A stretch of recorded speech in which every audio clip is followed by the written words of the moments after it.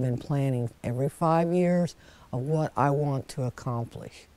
And I see what they are, how they do it, and I ended up doing it. I mean, I planned in five years to be out of debt. Not own, my house is paid for, cars paid for, I owe nobody. And I planned on that. And it was like, okay, how am I going to do this? And they showed me, gave me the tools to be able to do that. I mean, I don't think a lot of people can say they're out of debt.